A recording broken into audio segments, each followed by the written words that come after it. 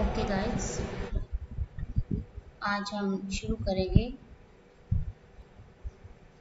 N टू three win win का next topic pink stem border या जिसे गुलाबी सुंडी कहते हैं। पिंक स्टेम बॉर्डर या गुलाबी सुंडी।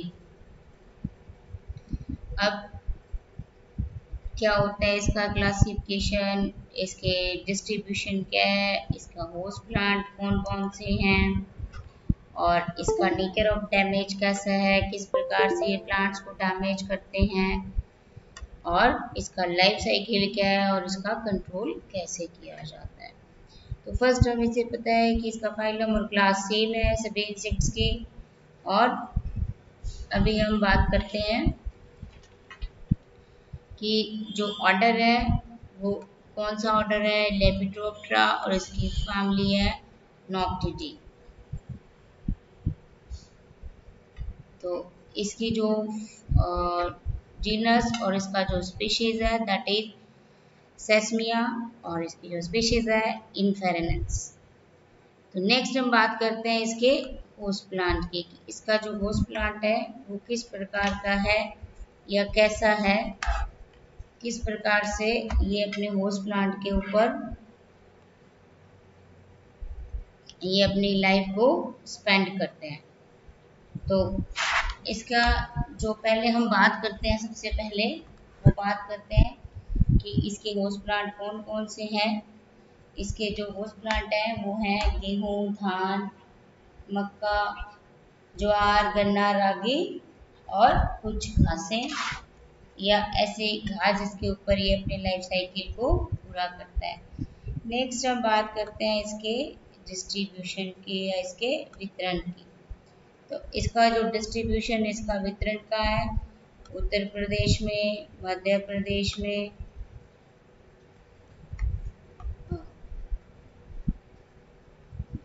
अब जब हम बात करते हैं इसके डैमेज की तो इसलिए हमारे पास जब इंसेक्ट है तो उसके हमारे पास दो स्टेजेस हैं, या लार्वा या एडल्ट इन दोनों स्टेजेस में ही कोई ऐसी स्टेज है जो फ़सलों को नुकसान पहुंचाती है, या किसी किसी जो इंसेक्ट है, उसमें दोनों ही जो स्टेजेस हैं लार्वा भी और उसका फ्रूट भी इंसेक्ट का लार्वा और फ्रूट दोनों ही फ़सलों को नुकसान पहुंचाते हैं.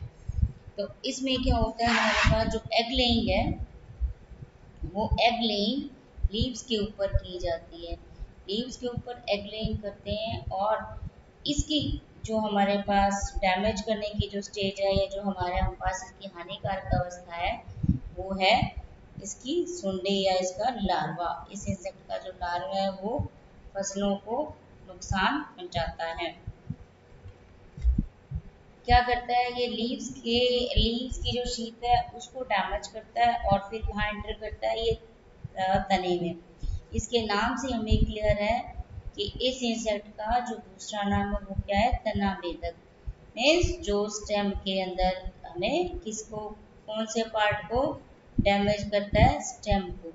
तो ये जो स्टेम का जो पोर्शन है, उसमें पहुँच जाते हैं। लीव से उसके शीत को डैमेज कर स्टेम के अंदर इसके लार्वा जो या जो सुंडी फॉर्म है वो एंटर कर जाती है और ये कब अटैक करते हैं? या तो जो फ़सल के प्लांट्स हैं वो बहुत छोटे होते हैं मीन स्टार्टिंग स्टार्टिंग स्टेज में होते हैं। तो ये उनको डैमेज करते हैं। उस कंडीशन में क्या होता है? वो प्लांट सूख जाता है और डेड हर्ट की तरह दिखाई देता है। और सेकंड अगर बालियाँ जो बनती हैं धान, अनाज में, उससे पूर्व अगर इस इंसेक्ट का अटैक होता है तब क्या होता है कि जो बालियाँ वो सूख जाती है, सूखी रहती हैं और जो उसमें दाने हैं, धान के दाने या अनाज के दाने हैं, जो नहीं बनते।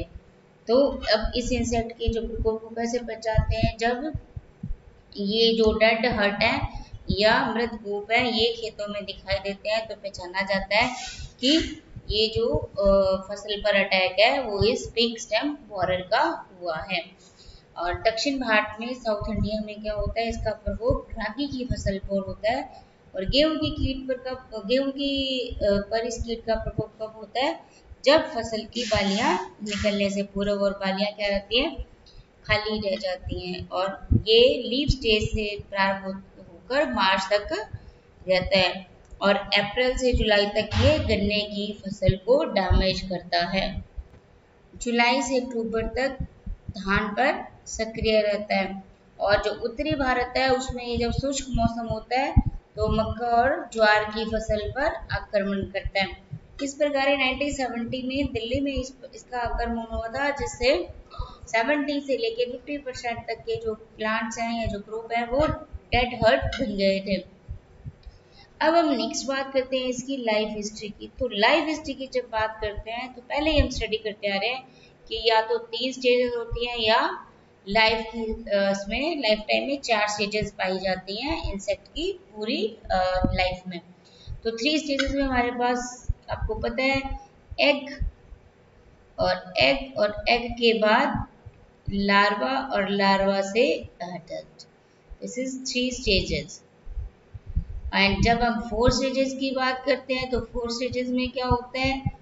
एग लार्वा लार्वा से प्यूपा एंड प्यूपा से एडल्ट तो ये जो चार स्टेजेस हैं, इस इंसेक्ट में फोर स्टेजेस पाई जाती है। फ़र्स्ट हमारे पास ये एग सेकंड हमारे पास ये लार्वा थर्ड इसका pupa and fourth is adult तो ये चार स्टेजेस इसके लाइफ साइकिल में पाई जाती हैं।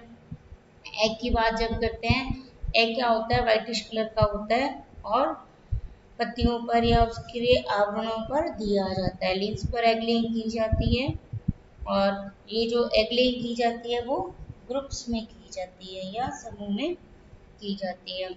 और एक जो इन फीमेल इंसेक्ट है, अपनी लाइफ टाइम में अबाउट 400 एग्स देती है। नेक्स्ट हम बात करते हैं कि जब ये हैच हो जाता है तो हैच होने के बाद ये एग है फूट कर इससे क्या निकलता है? लार्वा। तो वो जो हैचिंग है, इसके फूटने के जो दिन है, वो सात से दस दिनों का टाइम होता है। सात से दस दिनों के अंदर ये एग हैच होकर या पककर फूट जाते हैं। तो नेक्स्ट हमारे पास इसकी कौन सी स्टेज आती है? लार्वा या सुंडे, जो हल्के रंग की होती है। और एग जो फूटता है, उसके बाद जो स्टेज या जो अवस्था हमें मिलती है, वो लार्वा या सुंडी होती है, जो पत्तियों की लीफ शीट को डैमेज करके कहाँ जाती है? तने के अंदर घुस जाते हैं।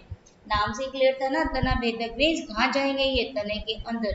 तो ये तने के अंदर प्रवेश कर जाते हैं, या तने के अंदर घुस जाते हैं। और फिर इसका क्या प्रोसेस होता है? तने के अंदर घुसने के बाद इसमें निर्मोचन की क्रिया शुरू होती है। मीन्स अब थर्ड स्टेज में कन्वर्ट होने का प्रोसेस शुरू हो जाता है। तो फाइव टू सेवन टाइम इसमें स्किन मेटामॉर्फोसिस या निर्मोचन की क्रिया होती है और जिससे 25 फाइव एम एम पूरी तरह से विकसित सुंडी बन जाती है, जो कि गुलाबी रंग की होती है। और उसके सिर पर जो उसका शरीर है, वो कैसा होता है? सिलेंड्रिकल या बेलनाकार। इस प्रकार ये बेलन के आकार का इसका शरीर होता है और इसकी बॉडी पर गहरे रंग के स्पॉट्स पाए जाते हैं। तो ये हो गया हमारे पास लार्वा। नेक्स्ट हम बात करते हैं क्रिमिकोश या प्यूपा की। तो ये क्या होता है? जो पूर्ण विकसित सॉरी पूर्ण विकसित जो सुंडी है, वो तने के अंदर कोशावस्था में बनने है। जो प्यूपा का फॉर्मेशन होता है, ये जो प्यूपा बनता है, वो तने के अंदर ही बनता है। और वो ब्राउन कलर का होता है, जिसकी लंबाई लगभग 12 एम mm होती है। और इसके जो पंख हैं, उसके किनारों पर ब्लैक कलर की लाइनिंग होती सॉरी बारह एम mm होती है और इसकी जो अवस्था होती है या इसका जो टाइमिंग होता है, वो सात से बारह दिन का होता है, जिससे इसमें अगली कौन सी हमारे पास अवस्था में बदलता है ये प्रोड में या अडल्ट में। जो प्रोड कीट है या जो एडल्ट इंसेक्ट्स मिलते हैं, वो घास के रंग जैसे होते हैं और लगभग 10 से 12 एम लंबे होते हैं। अब इसके मॉर्फोलॉजिकल करेक्टर क्या होते हैं? जो कि आइडेंटिफिकेशन करेक्टर कहलाते हैं।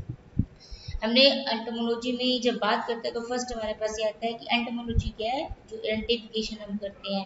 तो कीट विज्ञान और क्लासिफिकेशन की जब शुरुआत होती है तो सबसे पहले क्या किया जाता है इंसेक्ट को आइडेंटिफाई करते हैं कि ये इंसेक्ट कौन सा है, किस फाइलम का है, किस क्लास का है, किस ऑर्डर और फैमिली में रखा जा सकता है। तो दैट इज़ मॉर्फोलॉजिकल करेक्टर इसके मॉर्फोलॉजिकल करेक्टर के हम कैसे पहचानेंगे इंसेक्ट को देख के कि ये जो इंसेक्ट है, ये हमारे पास पिंक स्टेम बॉर्डर है। इसके जो आगे के जो पंख है, उसके ऊपर ब्लैक कलर की लाइंस पाई जाती है और पीछे के पंख व्हाइट होते हैं। सामने से दिखाई देंगे हमें पंखों के ऊपर ब्लैक कलर की लाइंस और पीछे के पंख व्हाइट कलर के। तो ये morphological character is for identification of insects अब जो प्रोड कीट होता है या जो हमारे पास अडल्ट मिलता है, वो क्या करता है? एक से दो दिन के बाद ही जो फीमेल इंसेक्ट पॉपुलेशन की क्रिया होती है। एक से दो दिन में ही पॉपुलेशन के प्रोसेस होने के बाद जो फीमेल है, वो टू थ्री डेज़ बाद ही एग लेनी शुरू कर देती है। अब एग कहाँ दिए जाते हैं हमें? एग दिए जाते हैं लीव्स के ऊपर और ग्रुप्स के अंदर। तो फीमेल का क्या हुआ कि जैसे ही पॉपुलेशन का प्रोसेस हुआ, उसके टू थ्री डेज़ बाद ही ये एग देना स्टार्ट कर देती है। तो अब क्या होता है कि इसकी जो गेहूँ की फ़सल में, इसकी एक साल में चार पीढ़ियाँ होती हैं। तो चार पीढ़ियाँ चार पीढ़ियाँ पूरे एक साल में मिलती हैं। तो जब उत्तरी भारत की बात करते हैं तो वहाँ ये मार्च से नवंबर तक एक्टिव रहते हैं। और जब सर्दियाँ आती हैं तो सर्दियों में क्या अवस्था होती है? शीत निष्क्रियता की अवस्था में रहते हैं। और अगेन जब मौसम चेंज होता है फरवरी में तो फिर ये वापस एक्टिव हो जाते हैं और गेहूँ और जौ पर अटैक करते हैं। गेहूँ की फ़सल लगभग पकने वाली होती है फरवरी तक तो उन प्लांट्स पर ये अटैक करते हैं और जून, जुलाई में गन्ने और मक्का पर अटैक करते हैं। अब हम बात करते हैं इसकी लाइफ साइकिल की। तो लाइफ साइकिल की जो पहली स्टेट है, वो हमारे पास क्या है? एग एग कहाँ होता है एग दिए जाते हैं लीव्स पे। लीव्स पर एग लेइंग की जाती है। अब लीव्स के ऊपर सेवन से टेन डेज़ में हैचिंग टाइम होता है।